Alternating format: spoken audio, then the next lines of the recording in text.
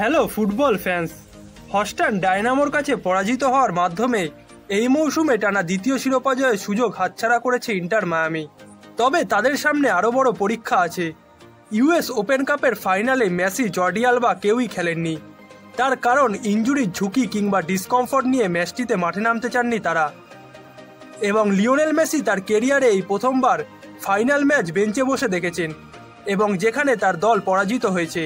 তবে ম্যাচটির পর এখন শোনা যাচ্ছে এমএলএসে বাকি থাকা ইন্টার মায়ামির পরবর্তী ম্যাচগুলোতেও মেসিকে পাবে কিনা মায়ামি সেটা এখনও নিশ্চিত নয়। যদিও টাটা মার্তিনো জানিয়েছেন, লিগের শেষ কয়েকটি ম্যাচে মেসিকে মাঠে দেখা যেতে পারে। তবে সেটিও এখনও নিশ্চিত নয়। বর্তমানে মায়ামির জন্য সবথেকে বড় চ্যালেঞ্জটি হচ্ছে মেসিকে না নিয়ে লিগ ম্যাচগুলোয় মাঠে নামা।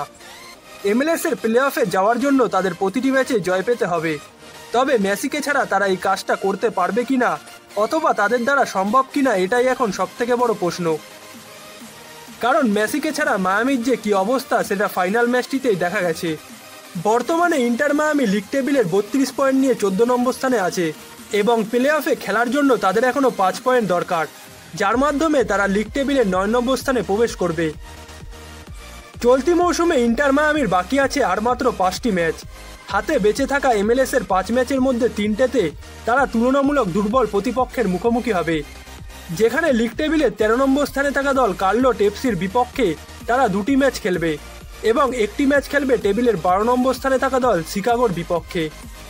এই ম্যাচ তিনটিতে মেসিকে ছাড়া মায়ামির ড্র কিংবা জয় পাওয়ারও সম্ভাবনা আছে। তবে বাকি দুটি ম্যাচে মায়ামি টেবিলের নয় নম্বর স্থানে থাকা দল নিউ ইয়র্ক সিটি এবং টেবিল টপার সিনসিনাটির মুখোমুখি হবে। এই দুটি ম্যাচে মেসিকে ছাড়া মায়ামির জয় পাওয়ার সম্ভাবনা নেই বললেই চলে। এবং ইন্টার মায়ামি কঠিন দুই প্রতিপক্ষের মধ্যে একটির সাথে নিজেদের পরবর্তী ম্যাচে মাঠে নামতে চলেছে, যেখানে তারা লিগ টেবিলে নয় নম্বর স্থানে থাকা নিউ ইয়র্ক সিটির বিপক্ষে পয়লা অক্টোবর মুখোমুখি হচ্ছে। ম্যাচটি পয়লা অক্টোবর ভোর পাঁচটা থেকে অনুষ্ঠিত হবে, যা বাংলাদেশে পয়লা অক্টোবর ভোর সাড়ে পাঁচটা থেকে অনুষ্ঠিত হবে। যদিও ইন্টার মায়ামি, নিউ ইয়র্ক সিটির থেকে দুটি ম্যাচ কম খেলেছে, যেখানে নিউ ইয়র্ক সিটি একত্রিশ ম্যাচ খেলে সাঁত্রিশ পয়েন্টের সাথে লিগ টেবিলে নয় নম্বর স্থানে আছে। সেখানে ইন্টার মায়ামি উনত্রিশ ম্যাচ খেলে বত্রিশ পয়েন্ট নিয়ে লিগ টেবিলে চোদ্দ নম্বর স্থানে আছে।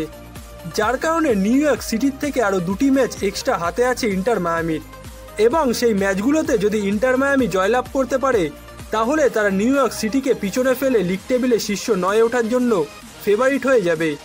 তবে কাজটা এতটাও সহজ হবে না ইন্টার মায়ামির জন্য। বর্তমানে নিউ ইয়র্ক সিটি দুর্দান্ত ফর্মে আছে। সর্বশেষ ম্যাচে তারা অরল্যান্ডো সিটিকে দুই শূন্য গোলে পরাজিত করেছে। যেই অরল্যান্ডো সিটির বিপক্ষে কিছুদিন আগে ইন্টার মায়ামি এক এক গোলে ড্র করেছিল।